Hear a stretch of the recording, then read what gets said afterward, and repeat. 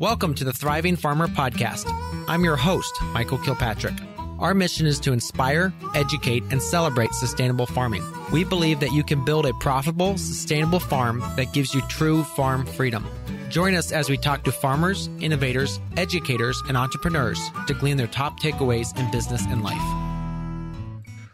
Hey, Thriving Farmers, Michael Kilpatrick here today with another episode of the Thriving Farmer podcast. Today, I am being joined by Michelle Patten, who is a lover of agriculture and business. She combines her passions through Patten bookkeeping and consulting. She raises farm to table grass fed beef at Fighting Butte Cattle Company with her husband, Matthew. Michelle has a bachelor's degree in business administration and accounting from Montana State University Billings, where she graduated cum laude. She is a certified QuickBooks Online Advanced Pro Advisor and proudly serves on the Montana Farm Bureau Youth Farmers and Ranchers Board. She lives on the family ranch in Montana with her husband, Matthew, and two daughters, Lillian, four, Abigail, two, and son, Henry, who is an infant. Welcome, Michelle. Thank you, Michael. I'm so excited to be here. So, give us a little bit about your background. Um, did you always grow up on a farm, or uh, what prompted you to come to the farm? Yeah, yep. So I was raised on a farmer ranch my entire life. We, I, my parents actually had a dairy farm when I was younger in Minnesota, and um, then I don't know, um, milk prices weren't great in like the mid 90s. I don't know if people would remember that, but so um, we actually ended up moving to Montana to um, raise cattle instead, um, beef cattle, and so I've I've been on a cattle ranch for well now probably the last 20 years of my life. And um now we live on my husband's dad's place and we we raise beef cattle now too. Okay. And so talk to us about the the cattle operation. Um how many acres do you manage? Well actually it's close to um 15,000 right now what we manage between what we lease and own. Okay. Cool so, talk to us about the bookkeeping side of things. I know that's what you focus on, and that's what we wanted to talk about today. Was really just dive into like you know, farmers are now at the end of the season. They're starting to look at their books, look at things that are going on. Um, how should farmers be doing the annual year in review? Yeah, so that's a great question. Um, I usually recommend that people, if they have the chance, to try to um, look through I guess, look at their books, look at their financial statements on a monthly basis. But I realize for a lot of people that's not even possible. I have clients who've been in the middle of harvest um, for like the last month and a half. So they, we haven't even met with them. We didn't even meet with them in the month of October because it wasn't even really feasible for them. So, you know, just as often as you can. But as far as the year end things, um, I think it's great to run a year to date profit and loss statement if you have some kind of accounting software. And if you don't, you know, just whatever method of bookkeeping you're using, just get that caught up through, you know, the end of last month and um, take that to your accountant or get get on the phone with your accountant and ask them if there's anything that you should be doing, you know, for, to prepare for taxes. It's always nice to kind of get ahead of the game um, and everyone knows their tax preparer is going to be very busy from now until to the end of April. So now would be a great time to reach out to them. Um, and then the other thing is, you know, kind of start thinking about 1099s because um, the deadline for that is January 15th to get your 1099s filed. And most farmers and ranchers would have some sort of 1099 contractor that they've worked with. So it's great to review that and then yeah i think it's just it's just nice when you're actually looking at that profit and loss statement to um, you know think about at the beginning of the year if you had any goals. Did you meet those goals as far as revenue? Where were your expenses at? Were they um, more than what you expected? And if they were kind of start thinking about how you know how you're going to manage that for the next year. Um, and i know a lot of people too are also working on renewing their loans this time of year or possibly coming up in somewhere between January and March. It kind of depends on your lender. So so now's a good time to um, also get in contact with them if you've got some kind of operating note that you need to get paid off and uh, renew. Um, you know, just kind of see what you've got to do there for for your bank or two. Absolutely. All right, so let's say some, someone who's a brand new to you know running their own farm book. So we actually have a, a fair number of those that would listen to this podcast. Um, talk to us through 1099s because that's something you know when I started I didn't understand what that was. And a 1099 is, is a contractor who's working with you. So you're not paying them like as a, an employee, but you're paying them for either, um, you know, like we pay labor jobs, 1099s, but also like someone who's doing like uh, work for you, like uh, maybe a, a plumber mm-hmm. or that kind of thing. So talk through that a little bit. Yeah, yep. Okay, so um, yeah, that's a great question. So a 1099, like you said, it's a form that you send to someone who has provided um, a service to you for your business. So if it's anything personal, you don't have to worry about sending that. But if it's something that would be a business expense to you, that would be like the first criteria that this would have to meet. Um, the second would be, like you said, that they are not an employee, they are a true contractor. Um, so what what a true contractor is. It's someone who has you know control of their own schedule um, their methods. They usually have their own tools and equipment. So that's sometimes a nice way to know um, kind of how you can distinguish that between you know someone who really should be an employee. Um, and then the next thing that you need to know is what type of service do they provide for you specifically? Because um, basically, and I can kind of break down, I'll just sort of give you some examples of some very common um, types of 1099 contractors and yeah, that absolutely. farmers and ranchers work with. So, okay, yeah. So, first, that one of the most obvious ones would be like farm labor that's not an employee. So, um, any, uh, you know, if you have someone who comes out and does some like machine work for you, um, machine hire kind of work, um, branding, you know, I know around here we've got a lot of ranchers, so if they've got a crew that comes out and helps them brand or do any kind of cow work, day labor, that kind of thing, that would be a contractor. Um, you'd also be looking at vet services. That's something that most people don't know that they need to provide a 1099 for. Um, and you don't have to include um, like the cost of the vaccines and that type of thing in there, but you always can. Um, it, it's not going to be a huge deal. And then some other ones would be like accounting and bookkeeping, legal services, um, any kind of repair work that has been done on your machinery. Um, rent is a big one too. So if you have a landlord that you're leasing land from, they would require a 1099. Um, and then kind of the next um, requirement or or um, you know what these contractors will have to meet is if you've paid them over $600 in the fiscal year. So from January to December, if you write them a combination of checks that equal to $600 or more, that's kind of the next requirement that, that they would have to meet. Um, so you'd kind of want to, um, you know, make a list and de- determine how much you've paid them. And then the last thing to kind of keep in mind is that a corporation, if it's actually, um, you know, incorporated, they've got the the Inc. after their name, um, they are exempt. But you do need to provide them to sole proprietors and LLCs and even some trusts, just depending. And when it comes to the legal fees and the veterinary fees, you always need to send it them, even if they are incorporated. So there's a couple um, um, I guess, rules that um, yeah. can, yep, yeah, exactly. Yeah, exactly. So that is so interesting. That is something I did not know that you needed. The vets and legal is something that always needs to get a 1099. Yeah, yep. All right. So talk to someone who, let's talk about basic bookkeeping. Because I know a lot of farmers, it, it, it mm-hmm. scares them to think about this. What are some um, softwares out there that people can use? Well, let's first, let's break it down first. Why do you need to keep good books?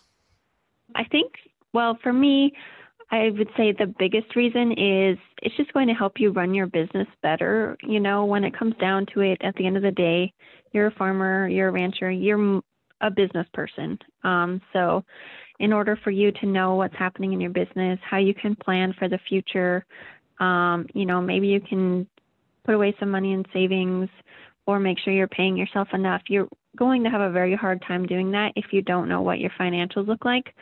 Um, so I think for me, that's the basic.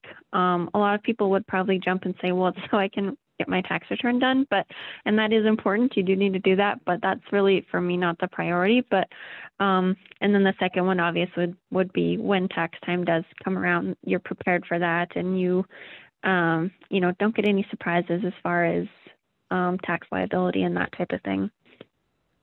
Yeah, absolutely. I think obviously the other thing too is so you can track your your your spending and like where you're spending your money too. Obviously, I like to do more of the mm-hmm. enterprise budgeting just in spreadsheets because I feel like it's kind of hard to manage all those aspects in like the financial software and spreadsheets are just so much easier to manipulate. But I think, you know, obviously mm-hmm. all your categories and, and that sort of thing is really important to be done in in the in the bookkeeping software. Yeah, yep. Yeah, I um it's always nice to have really good categories and um you know, you can break them out fairly detailed depending on the level of detail that you want. It it kind of depends on how much work you want to put into it. Um you know, there is kind of a fine line between, you know, going a little bit overboard and you have like 500 accounts and you don't know what what a transaction is supposed to go to and I think that also leads to overwhelm too because um, you know, people kind of get too concerned about making sure that everything is perfect. Yeah. Um, you're going to have a better, I think, a better experience with bookkeeping if you keep a little bit more general, at least to start with. And so you don't get so overwhelmed with wondering, is this right? You know? Um, but the other thing too is uh, with a lot of these um, accounting softwares, you can you can do a little bit more specific enterprise accounting by using different classes. Um, so that's what I do with a lot of my clients when they've got, you know, they might have a cow calf operation and then they might feed them out and um, they might even have a small registered herd or something like that. So we're um, keeping track of these things separately by using classes for each one of those too. Okay, so break that down for us a little bit. So a class would be something, let's say you're feeding uh, three different cow herds grain, but you could break out which grain is going to which cow herd under those classes, correct? Yes. Yep. Yeah. Exactly. So yeah, if you want to know what how much you're feeding your, um, you know, your herd of, you know, bred cows versus what you're feeding your yearlings or something like that, we could have separate classes for each of those. And then the other thing we can do too is separate locations as well. So I find the locations are kind of nice for tracking field work. Mm. Um, so if you've got, I mean, you know, everyone has their fields have names, and so if you've got the, you know, the meadows down here or whatever, they, they it seems like everyone's got a name for everything. So we just will literally put those names of the fields in there as a location. So then you can actually, and then um, as far as a class goes, when it, especially when you're looking at farming, we would do like the crop. So mm-hmm. you would mm-hmm. have your expense account would be, you know, the fuel that goes in the tractor, and then you could say, well, that went to the corn crop that's in this, you know, um, specific field. So you can kind of break it out even more specifically. Mm. Um, determine if you know if maybe one field is more productive than the other. What's the reason behind that? Something like that. Yeah, just to give you a lot more data. Mm-hmm. Yep, exactly. Well, like I said, you know that might be their bookkeeping, or if they are planning on hiring a bookkeeper, that's something that they could pretty easily do, but I don't, you know, I, I find that sometimes it's just best to keep it simple when you're starting and then you can, you know, build upon your data and, you know, just get a little bit more specific information as you go along. Mm-hmm, mm-hmm. So you mentioned too of like keeping it a little more simple. So usually, how many different um, uh, lines do you like to see in a profit loss? For me, I would say about maybe anywhere from 25 to 35 40 you know um, and i can kind of list off some of the main ones that i like to always have broken out but absolutely um, when you're looking at your income i always like to see income by either the crop or the type of cattle you know calf sales versus cull cow sales versus bull mm-hmm. bull sales or if you're a um, if you have a registered herd, you know, your your breeding bulls that you're selling. Um, and then, like I said, the, different crops. It's always nice to have those separately in there just so you can glance at it real quick and see where you're at. And then as far as the expenses go, um, for me, I like to have your sort of like overhead expenses, which I call direct costs. Um, so fuel, any agronomy expenses. Um, so you can either have literally just an agronomy expense account or you can have some sub accounts, which would be like fertilizer or mm. chemical, you know, that type of thing. And then um, within the same category would be um, feed. So, like I said, you know, feed can be one line. You don't have to break that out if you don't want to. And that sometimes just keeps it simple. You know, have all the hay, all the, um, if you are, you know, doing mineral barrels, whatever, just kind of group that together. And then um, some of the other things in there would be like your supplies, your repairs and maintenance. So those can literally be one line supplies, one one line repairs and maintenance.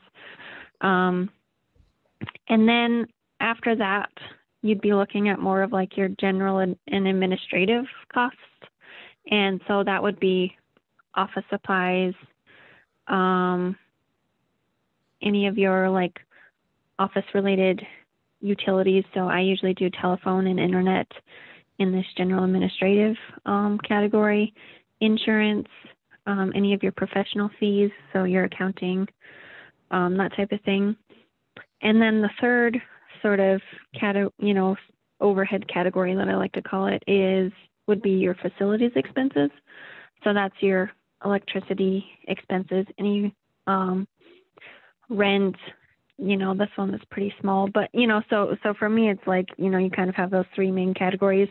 And then outside of those categories is usually your advertising.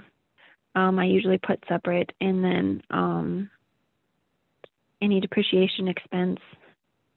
And you know i'm sure there's a few others but for me that's how i like to kind of categorize the main categories within um, you know your profit and loss. And then you know, everyone's a little bit different. So you're going to have different expenses just kind of depending. Oh, and interest expense too. I usually put separate.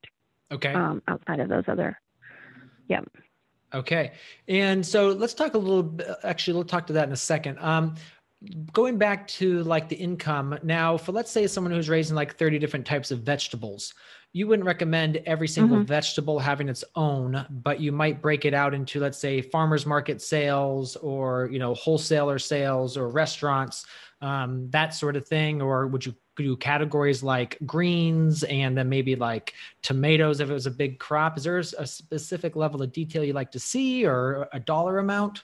Yeah, um, so so that's a good question. With people who are selling a a large number of products, um, what I usually recommend is they do more. They they kind of do a little bit more tracking within their software on the products and services side of things, where they're actually, um, you know, they have an an actual item, a line item in their products and services that they, you know, have a.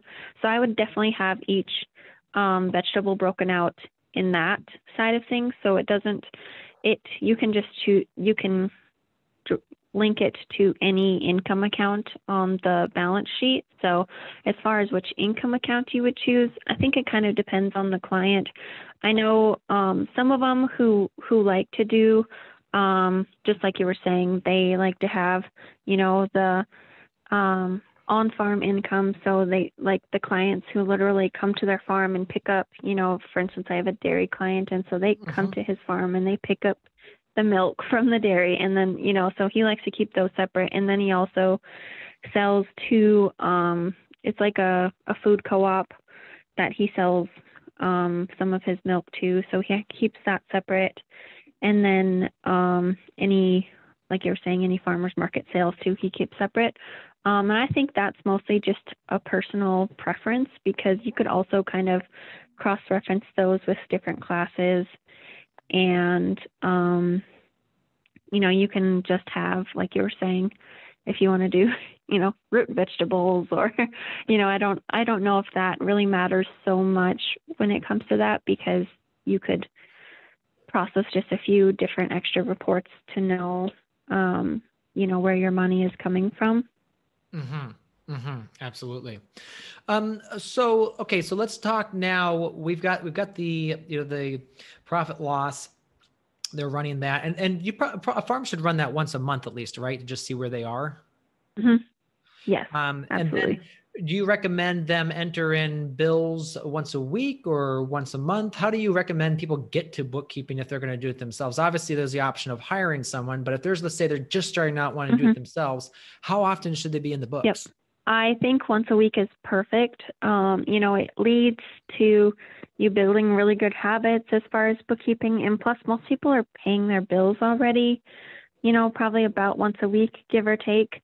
Um, so I think that since you probably already have a bit of a, um, you know, habit routine de- developed around bill paying, it's nice to kind of move the rest of your bookkeeping tasks into that same routine. Mm. Um, but I do think once a week is is good because then you don't get too far behind. When people get too far behind, it leads to that overwhelm again. And then next thing you know, it's six months and they haven't even looked at anything. Um, mm-hmm. So, and also it's kind of nice because everything is still fresh in your mind. You know, you don't have to try to think of, oh, I went to two runnings. I don't remember what I bought, or I can't find the receipt now, or whatever. So um, that kind of makes it easier for you as well, and it makes it a faster process too. Mm-hmm, absolutely. So let's talk a little bit here about the. Um, uh, funding the farm side of things. So I know you talked about like an annual operating loan. When, what different categories should folks be funding? So obviously you've got equipment that doesn't come out of a operating. What is that? That would be more come for just a, a one-off equipment loan, correct? Talk to us about like how you like to categorize those things. Yeah. Yep. So I, um, I think that it's always nice to um, for sure have those loans in your QuickBooks, you know, as an as a liability, and when you enter that, also make sure that you add the you know the asset that's um, involved. If it's if you actually bought a piece of equipment, make sure that that piece of equipment is in there as well. Or if it's an operating note, then you know generally that's just you're just transferring money back and forth. So I do think that it's important to have those balances in there. And you know, if you're transferring money from an operating note um, make sure that you're physically doing that in in your accounting software as well because then it will increase the balance of the loan and you know increase the balance of your checking account or whichever account that you're using there um, and then as often as you pay your loan off um, once again I, think that it's important that you're entering that as in as well in there and then also make sure that you're breaking out your interest um, you know, you'll always get like a year end interest statement, but um, in order for your books to be accurate, you'll also want to break out that interest in there and then, you know, just compare those statements at the end of the year to make sure that they're correct. Mm. Mm-hmm. Now, one of the things that we, um, you know, when I when we bought a farm, we ended up buying the property and we live here, so it's like the it was one it was one mortgage. But do you recommend that people, if they can, separate the the farm property and have the the business buy that, or should they personally hold the property and then rent it to the business?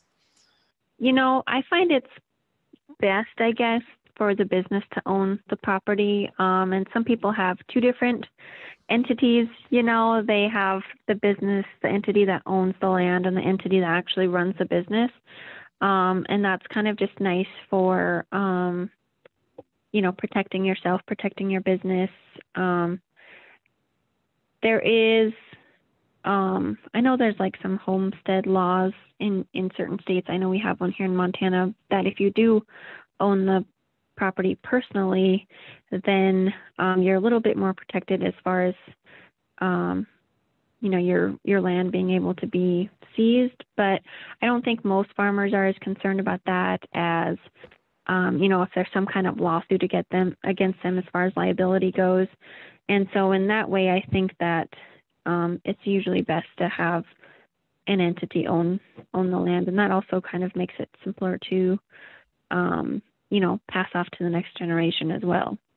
Mm, okay, so let's talk through that a second because that's something that comes up is if the business owns the land compared to let's say a person owns the land, that makes a huge difference for inheritance tax. Mm-hmm. Um, yeah, I was just going to say, and it definitely depends on where, you know, the current laws and where you're at and everything. But I do find it's a lot easier to um, have a business trade hand that owns land rather than you physically inheriting, you know, personal wealth, I guess is how it's put. And so I, I find that you'll be taxed a lot higher, um, you know, in that inheritance tax when you know you're personally receiving you know millions of dollars in land or, or whatever it might be.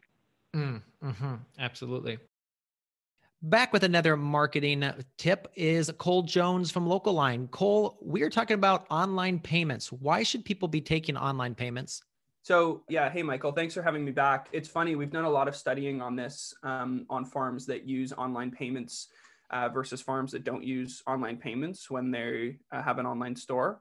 And uh, we've studied this across about 7,100 farms. And uh, what we can tell you, oddly, is that if you use online payments as a, a payment method to accept payment from customers, you get an average of 21% more orders each month. That's free money. It's free money. And I, you know, we, we sort of thought a lot about why is that the case. I, I do believe that um, it removes some barrier uh, for the customer when they're purchasing, as in uh, this, you know, online payment is a very natural and sort of accepted form of, of e-commerce. And so there's a lot of confidence that you give the customer when they're able to actually just pay for the order right at checkout.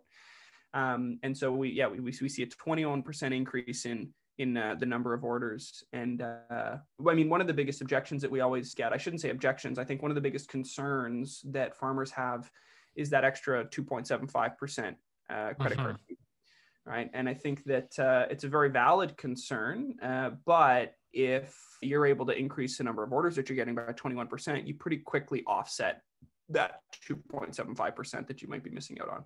Yeah, and any farmer that's operating at that close of a margin that they're worried about that, there's other problems in their business that the rest of this podcast will probably help them solve. Yeah, yeah, ab- absolutely. All right, thank you, Cole, for coming on. Thank you. What are some common questions that uh, you get every single month as you're working with your clients about you know, kind of the bookkeeping side of things?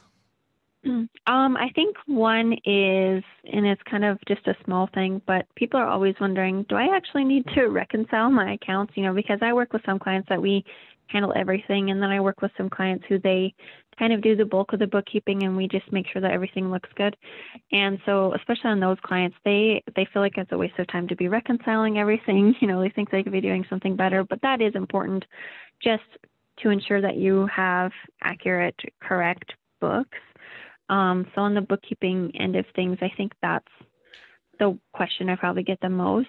Um, and then in general, um, I feel like a lot of my clients struggle with understanding their cash flow and so um, I I work with them to help them to do you know cash flow projections to um, because we all know with with farming and ranching you usually get a big check a few times a year if you're lucky if not once a year.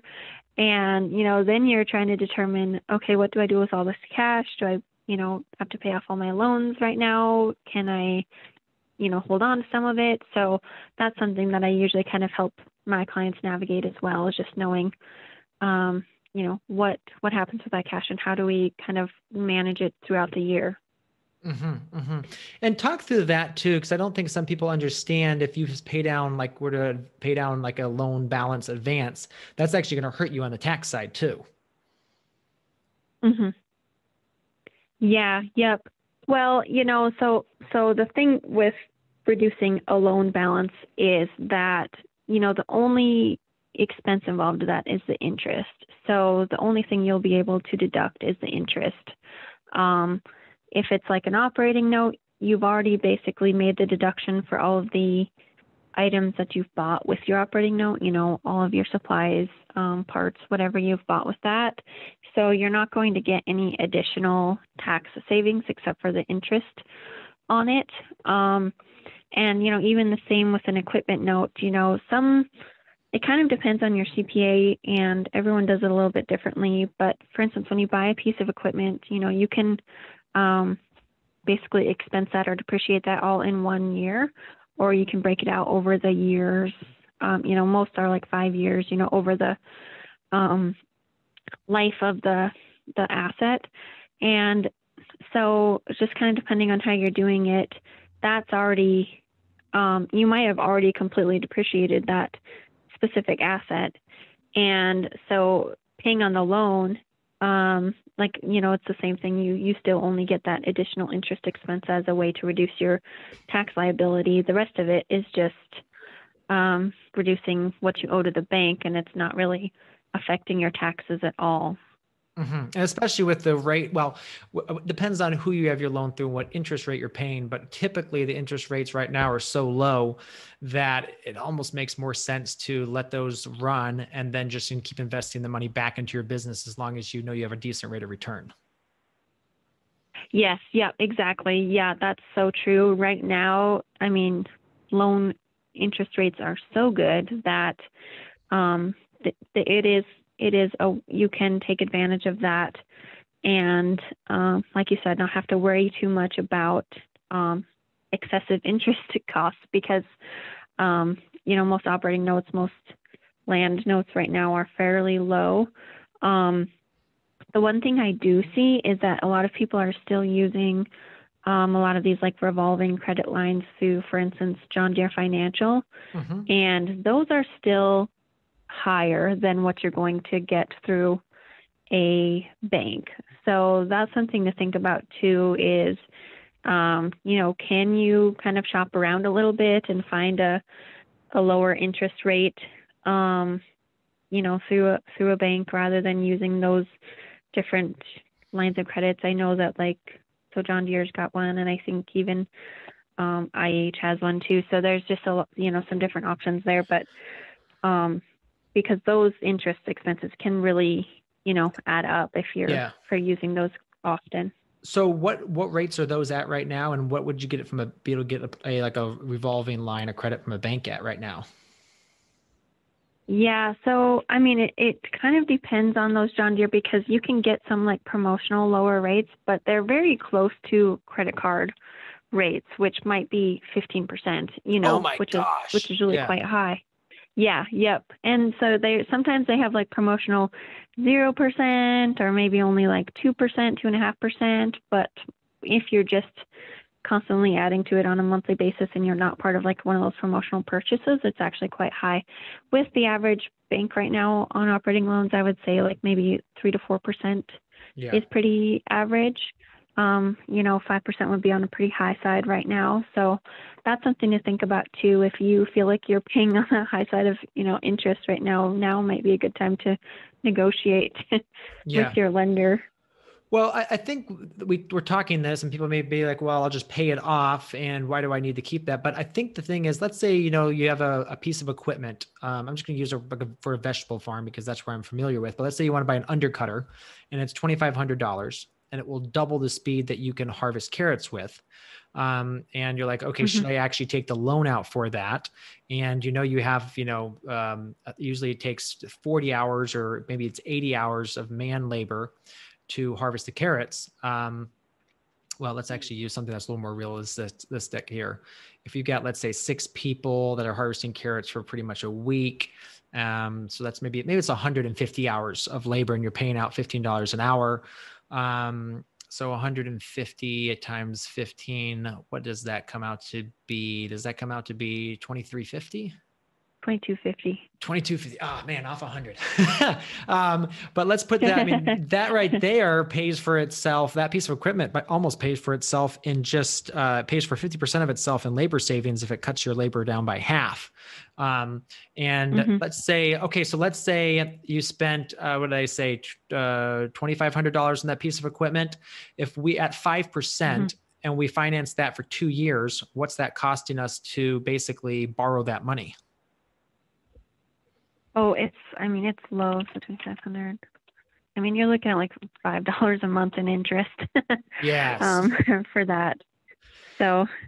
Yeah, it makes massive sense to do that. I mean, we're looking at right now at a mm-hmm. greenhouse through uh, a USDA micro loan, and um, you know, just looking at the, it's a you know, it's a we're looking at a fifty thousand dollar note through the micro loan program, and just looking at the amount of interest we're paying every single month, it's unbelievable. Um, mm-hmm it's it's just yeah. so cheap to be able to uh, get that kind of uh, financing and just how much it can help you as a farmer. And I, I think the biggest thing that we run into when we work with farmers is it's a lack of confidence to think that I can actually make money mm-hmm. with something is that they they believe farming is such right. a hard hard thing that they won't get themselves financed properly and when you're financed properly oh my gosh it just makes so so much easier to um yeah to be able to run your and operate your farm. I mean, so like right here, we have uh, we just bought our farm this year, and uh, we actually haven't bought a tractor yet, um, like a, a, utility tractor for it. We need to, um, and we've looked mm-hmm. at the kind of what's out there,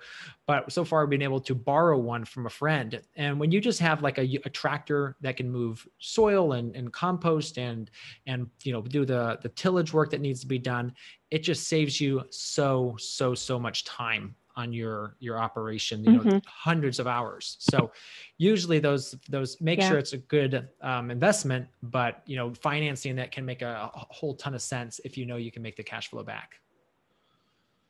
Yeah right. Yeah and that's something that i think people often forget. One is that labor is almost always going to be your highest expense. You know if you're not doing the labor by yourself most people aren't able to you know especially in something where it's it, mm-hmm. it might be seasonal, but labor is very in labor labor is just very expensive. So that's going to be one of your highest costs. And the other thing too is, you know, what is your time worth too? Um, right. Mm-hmm. You know, you're, you have to decide, you know, what's the best use of your time and, um, how can you use it most efficiently? So I, I think that those are something that people, um, often forget to think about and um, you know take into consideration when they are making these decisions because they might feel like they're making the cheaper decision by you know just doing all the labor themselves or by just having people come or something and um, in the long run it really is um, it's yeah. costing their business because they're you know they're just not using the best use of their time well, I think let's talk about this too the opportunity cost. So, you know, let's say you're harvesting those mm-hmm. carrots in the fall and you literally have carrots, beets, potatoes, uh, all those to harvest. And let's say because you're taking so long to harvest those crops, you end up leaving two beds or three beds in the in the field and they get ruined. You know, that's thousands of dollars right mm-hmm. there you lost because you didn't have the, the proper equipment. And with a piece of equipment, every hour you save um, is you know a, an hour you're always going to pay for that time. So with a piece of equipment after you've paid it off it's just now free pretty much for your farm. So mm-hmm. labor does yeah. not come back. It's always an expense that's it's it's it's never yeah never not giving you an roi like a piece of equipment that's saving you time is.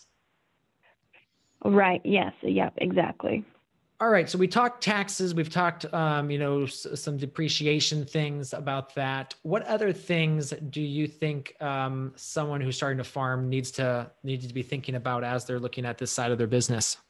You know, I I always like I'll beat this into my clients, but we always talk cash flow because that's that really is I find what can make or break a small business. And so uh, that's like you were talking about when people aren't really confident enough to go out and try to finance something, um, uh, just thinking about my clients that they have one a little bit of cash reserves to fall back on, you know, whether it be cash in the bank or an operating note that they can pull out of. Um, and I also think that it kind of gives them a bit of motivation, you know, to know that they've got to um, you know, pay that, you know, like you said, pay that piece of equipment off or pay pay off that operating note they've been using to um, fund themselves. But I also think too that it's nice as you develop as a farm and um, you know you have more experience under your belt and everything, um, trying to find a way to um, cash flow yourself to a certain extent as well. Um, but that's so hard to do when you're first starting out, and and I don't think that farmers should feel like they are, um, you know, they're not successful because they can't just, you know, go out and, um, you know, completely bootstrap their business because that's just um, a very hard thing to do. Yeah. Yeah. So, how many months reserves do you like to see farmers um, keep in their business? I always recommend at least three months, and it seems like a lot. So, I mean, it's just a goal to have. Um, three months of your regular operating expenses. And if you can achieve that and you know, maintain it fairly consistently, then it might be a good idea to have six months, you know, and I know that that can be a lot of cash. Um, but it, it is also a peace of mind, you know, to know that if, if there's an emergency, if something comes up, you know, they've, they've got that as, as sort of a backup plan. And then if you end up not using it, then you can, um, you know, pay yourself with it, you know, pull some capital out every every few months as you know um, to pay yourself so well yes too and i think it depends on what type of business. Let's say you have a very seasonal business. Let's say you're a fall uh, corn maze obviously you know that mm-hmm. you only have income coming in in you know september october and maybe november um, if you're like a year-round hydroponic system that you know is, is shipping lettuce every week of the year that's a very different cash flow situation yeah yep yeah, that's very true. Um, yeah, I and that's that's something to think about too. If you've got you know like a very retail oriented business that you are, um, you know, consistently selling products and you know that you've got that monthly cash flow, it probably isn't as important. But the other thing too is you're you're gonna you're more likely to also have your monthly expenses. You know that that will always come up too, and very um, rather than having more seasonal expenses, you're going to have very regular expenses. So um, I still feel mm-hmm. like it's a good idea to have about three months if you can, um, but um, more is not an issue. And if you feel like that just is so much money, you know, just add a little bit at a time. You know, if you can start with a month of of savings, that's a great place to start because that, you know, you know that if you didn't make any money for an entire month, you could still survive for the next month. That's a great feeling for people. Mm-hmm, mm-hmm, absolutely. Yeah. And I think too, looking at like what your expenses are of your business, let's say you have multiple employees, then you got massive expenses compared to someone who's just a solo op- operator. Mm-hmm, yes. Yeah. All right. So let's just uh, let's wrap this up. What kind of advice would you like to leave folks who are, you know, going ahead and uh, on their small farm journey and, and, and looking at the the finance side and, and, and running scared, I guess, as I would say.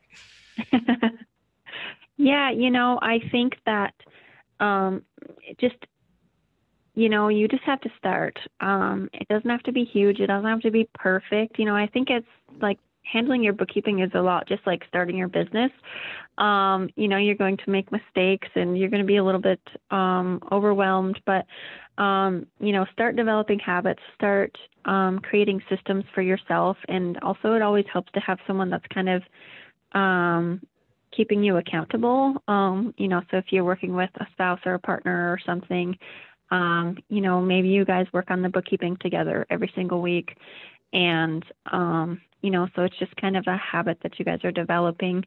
And um, the longer you do it, the better you're going to get, the more you're going to understand about your financial situation. And I think if you're avoiding it, it's probably because you're worried about what you're going to find out. And um, if that's the case, then you probably need it more than anyone because um, if you like have a bad gut feeling about you know where your finances are at, um, they probably aren't as good as they could be. So just, mm-hmm. you know, taking the time to acknowledge that and then, um, you know, saying to yourself that you're going to make it better and you're going to do that by, you know, being proactive about about your bookkeeping, about your planning, about your budgeting. Um, I think that that's that's going to be so helpful to you. Mm-hmm. Absolutely. Well, thank you so much for coming on today. We really appreciate your time and uh, and just sharing with us all these aspects of uh, of farm finance and just running books and that sort of thing. So, thank you so much, Michelle. Mm-hmm. Yeah, thanks for having me, Michael. I really appreciate it. Um, and so I'm I'm excited to to listen to the podcast when it when it releases. All right. Thanks for coming on. Looking to start or grow your farm business? You need a compelling farm plan that you can share with investors, convince your significant other with, or just to give yourself peace of mind. We have created a new program called the Start Your Farm Intensive. In it, you'll learn how to develop your farm idea to make sure you take all the factors into consideration for your context and your climate. You'll learn how to craft a one page business plan that helps clearly define your target customer and lay out the necessary characteristics of your business. You will understand the three financial documents that every farm needs to fill out to make sure you are making money. And we'll give you all that as templates too. So you have the templates to fill out for your farm business. We'll also go through funding. So, where to go for funding for the various stages and parts of your business. Starting a farm is hard. Starting a farm without a proven plan is almost impossible. Join us today. Go to growingfarmers.com forward slash start for more information. Now, what did past students have to say? Corey says, the exercises and spreadsheets helped me make the learning process easier and more real. Jenna says, I gained the support system and resources I needed for when I'm ready for the next step. And finally, the worksheets make you think out every aspect of the business step by step. Go ahead, join us today, growingfarmers.com forward slash start. Hey, Thriving Farmers. Join me next week on the podcast as I interview Daron Babcock, who is the farmer at Bonton Farms and Bonton Community on the south side of Dallas. We talk about how he got started with the farm, the incredible social and community um, aspects of the farm, and how what they have done is use the farm to create multiple businesses in the area to help change their community. So join me next week. Join a special interview with Darren. There you have it, another episode in the books. So I'd love if you would hop on over to iTunes and leave us a rating and a review. Those mean everything to us. We love to hear what you're thinking. If you have a podcast guest that you can recommend, please pop on over to the Thriving Farmer podcast website and leave us a review. That's thrivingfarmerpodcast.com.